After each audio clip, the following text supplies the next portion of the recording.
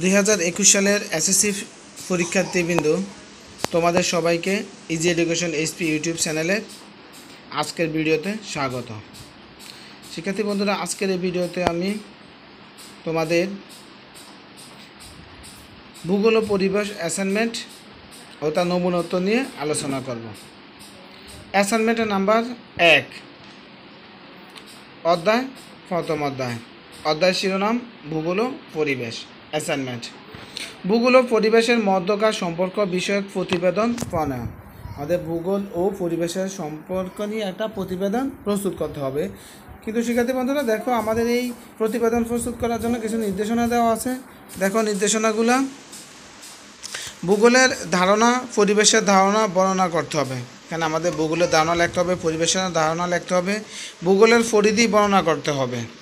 ভূগোলের শাখা এবং পরিবেশের উপাদান ও প্রকারভেদ বর্ণনা করতে হবে। ভূগোল ও পরিবেশের উপাদানসমূহের আন্তঃসম্পর্ক বিশ্লেষণ করতে হবে। তো এটা ছিল শিক্ষার্থী বন্ধু, আমাদের অ্যাসাইনমেন্ট ও নির্দেশনা। তো অ্যাসাইনমেন্টের নির্দেশনা দেখো, তোমাদের মূল্যায়ন নির্দেশনার মধ্যে এই প্রতিবেদন প্রতিবেদনটাকে চারটা ভাগে ভাগ করা হয়েছে, ক, খ, গ গ। তো তোমাদের প্রশ্নে উত্তরে কোনো ক, খ, গ গ দেওয়ার প্রয়োজন নেই, দিলেও ভুল হবে না। এটা হলো নাম্বার দেওয়ার জন্য। তো শিক্ষার্থী বন্ধুরা, আমি এই মূল্যায়ন নির্দেশনা নির্দেশনা এবং অ্যাসাইনমেন্টের নিয়ম অনুযায়ী তোমাদের জন্য একটা মূল- নমুনা উত্তর তৈরি করেছি। তোমাদের সামনে এখন আমি নমুনা উত্তরটি উপস্থাপন করব। নমুনা উত্তরে যাওয়ার আগে তোমাদের কাছে আমার ছোট রিকোয়েস্ট যারা আমার চ্যানেলটি এখনও সাবস্ক্রাইব করনি বা আমার চ্যানেলে আজকেই নতুন, তারা প্লিজ আমার চ্যানেলটিকে সাবস্ক্রাইব করো এবং পাশে থাকা বেল আইকনটি অল করে রাখো। যারা আমার চ্যানেলটিকে সাবস্ক্রাইব করেছ, তাদেরকে অসংখ্য ধন্যবাদ। যদি এই ভিডিওটি ভালো লাগে বা তোমার কোনো উপকার আসে, তাহলে লাইক দিয়ে না টেনে পুরো ভিডিও দেখতে থাকো। শিক্ষার্থী বন্ধুরা, তোমরা জানো প্রতিবেদন লেখার প্রথমে একটা শিরোনাম লিখতে হয়। তোমরা শিরোনাম লিখবে, তারপরে প্রতিবেদকের নাম লিখবে, তোমার নাম লিখবে এখানে, প্রতিবেদকের ঠিকানা, তোমার ঠিকানা লিখবে, প্রতিবেদনের তারিখ, এখানে তুমি যে তারিখে লেখো অথবা বিদ্যালয়ে যে তারিখে জমা দাও, ওই তারিখটা লিখবে। তারপরে শিক্ষার্থী বন্ধুরা অ্যাসাইনমেন্টের নমুনা অনুযায়ী, নির্দেশনা অনুযায়ী আমাদের ভূগোলের ধারণা লিখতে হবে। শিক্ষার্থী বন্ধুরা, দেখো, আমরা পৃথিবীতে বাস করি। পৃথিবী আমাদের আবাসভূমি, মানুষের আবাসভূমি হিসাবে পৃথিবীর বর্ণনা হলো ভূগোল। ইংরেজি জিওগ্রাফি শব্দটি থেকে ভূগোল শব্দ এসেছে। প্রাচীন গ্রীসের ভূগোলবিদ এরাট ইরাটস থেনিস প্রথম জিওগ্রাফি শব্দ ব্যবহার করেন। জিও ও গ্রাফি শব্দ দুটি মিলে হয়ে- হয়েছে জিওগ্রাফি। জিও শব্দের অর্থ ভূ বা পৃথিবী এবং গ্রাফি শব্দের অর্থ বর্ণনা। শিক্ষার্থী বন্ধুরা, তোমরা পুরো লেখাটা দেখে দেখে লিখে নাও। আমি যদি পুরো লেখাটা পড়তে যাই, তাহলে অনেক বড় হয়ে যাবে ভিডিওটা। কারণ অ্যাসাইনমেন্ট আমাদের সামনে অনেক উত্তর আছে। পরিবেশ পরিবেশের ধারণা। শিক্ষার্থী বন্ধুরা অ্যাসাইনমেন্টের নির্দেশনা অনুযায়ী তারপরে আমাদের লিখতে হবে পরিবেশের ধারণা। তোমরা দেখে দেখে লিখে নাও। ভূগোলের পরিধি। বিজ্ঞান ও প্রযুক্তি বিকাশ, নতুন নতুন আবিষ্কার, উদ্ভাবন চিন্তা ধারণার বিকাশ, সমাজের মূল্যবোধের পরিবর্তনের ভূগোলের পরিধিকে অনেক বিস্তৃত করেছে। এখন নানান রকম বিষয় যেমন ভূমিরূপবিদ্যা, আবহাওয়াবিদ্যা, সমুদ্রবিদ্যা, মৃত্তিকাবিদ্যা, প্রাণীবিদ্যা, সমাজবিদ্যা, অর্থনীতি, রাজনীতি ইত্যাদি ভূগোল বিষয়ের অন্তর্ভুক্ত হয়েছে। ভূগোলের শাখা।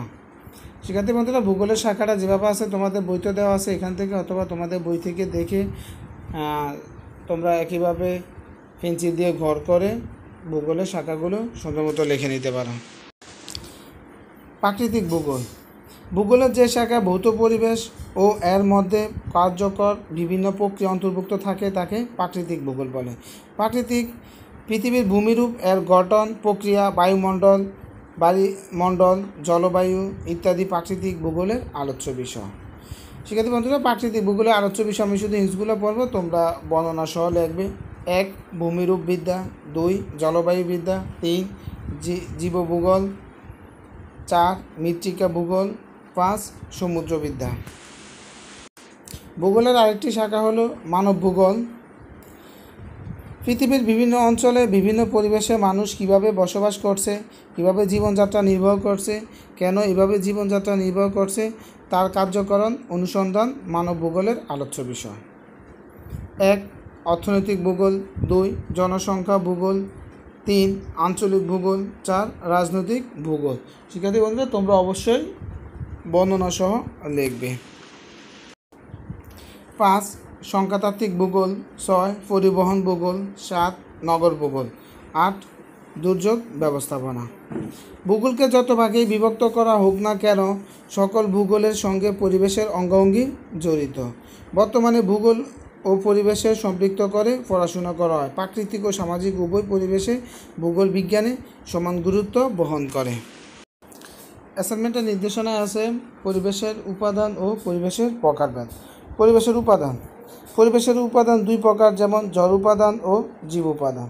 যাদের জীবন আছে, যারা খাবার খায়, যাদের বৃদ্ধি আছে, জন্ম আছে, মৃত্যু আছে, তাদেরকে বলে জীব। গাছপালা পশু পাখি কীটপতঙ্গ, মানুষ ও অন্যান্য প্রাণী হলো জীব। এরা পরিবেশের জীব উপাদান। জীবদের নিয়ে গড়া পরিবেশ হলো জীব পরিবেশ। মাটি পানি, বায়ু, পাহাড়, পর্বত, নদী, সাগর, আলো, উষ্ণতা, আর্দ্রতা হলো পরিবেশের ঝড় উপাদান। এই ঝড় উপাদান নিয়ে গড়, গড়ে ওঠা পরিবেশ হলো ঝড় পরিবেশ। শিক্ষার্থী বন্ধুরা, তোমরা দেখে দেখে পরিবেশের প্রকারভেদটা লিখে নিবে। শিক্ষার্থী বন্ধুরা অ্যাসাইনমেন্টের সর্বশেষ নির্দেশনা বলা আছে ভূগোল ও পরিবেশের উপাদানসমূহের আন্তঃ সম্পর্ক বিশ্লেষণ। ভূগোল ও পরিবেশের উপাদানসমূহের আন্তঃসম্পর্ক। ভূগোল হল পৃথিবীর বিজ্ঞান। পৃথিবী পৃষ্ঠে সংগঠিত ব্যবস্থাগুলো কীভাবে কাজ করছে এবং প্রাকৃতিক বিষয়গুলোর সাথে মানুষ কীভাবে অন্যদিকে মানুষ যেভাবেই বাস করুক না কেন, তাকে ঘিরে একটি পারিপার্শ্বিক অবস্থা বিরাজ করে। আর সেগুলির সমন্বয় হলো পরিবেশ। তাই ভূগোল ও পরিবেশের মধ্যকার গভীর সম্পর্ক বিদ্যমান। কেননা, পরিবেশ যেসব উপাদান নিয়ে গঠিত হয় তার যথোপযুক্ত ব্যাখ্যা হল, ব্যাখ্যা এবং আলোচনা করে ভূগোল। ফলে ভূগোল ও পরিবেশ একই সূত্রে গাথা। আমরা আর আমরা যদি ভূগোল বর্ণনা ও গবেষণাকে কাজে লাগিয়ে একটি সুন্দর কাঠামো তৈরি করতে পারি, তাহলে পৃথিবী হয়ে উঠবে শান্তিময়। শিক্ষার্থী বন্ধুরা, এটাই ছিল তোমাদের ভূগোল ও পরিবেশের অ্যাসাইনমেন্টের নমুনা উত্তর। তোমরা এই নমুনা উত্তরের সাথে মিল রেখে তোমাদের বইয়ের সাথে মিল রেখে কিছু পরিবর্তন করে লিখতে পারো। তো আমার ভিডিওটা কেমন লাগল তা অবশ্যই কমেন্ট বক্সে জানিয়ে দেবে। কোনো কোনো সমস্যা থাকলে না বুঝলেও কমেন্ট বক্সে জানিয়ে দিবে। আর এই ভিডিওতে অবশ্যই একটা লাইক দিবে, কারণ তোমার একটা লাইক আমার পরবর্তী ভিডিও করার অনুপ্রেরণা। পরবর্তী অ্যাসাইনমেন্ট নিয়ে তোমাদের সামনে হাজির হব। ততক্ষণ পর্যন্ত তোমরা সবাই ভালো থাকো, সুস্থ থাকো, নিরাপদে থাকো, সামাজিক দূরত্ব বজায় রাখো। তোমাদের সুস্থতা কামনা করে আজকের মতো বিদায় নিচ্ছি। আল্লাহ হাফেজ।